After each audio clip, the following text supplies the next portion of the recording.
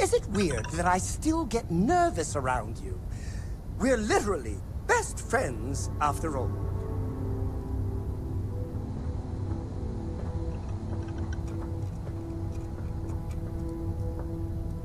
How can I be of service, O great and mighty hero?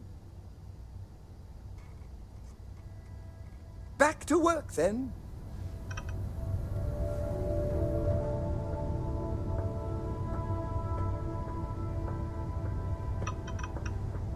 Whenever I'm lost, I think, what would you do in my shoes?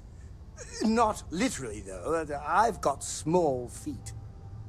Being part of your crew is just the best.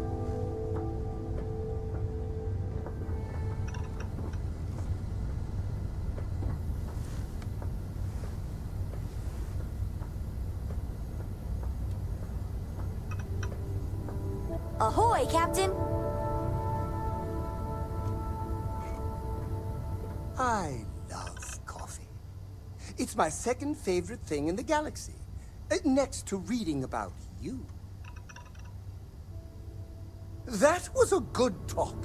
It'll be hard to top it, but you always manage.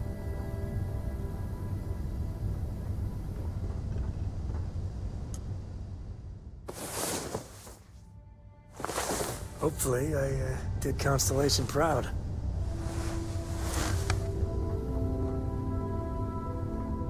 Yes, your immaculateness. What can I do for you?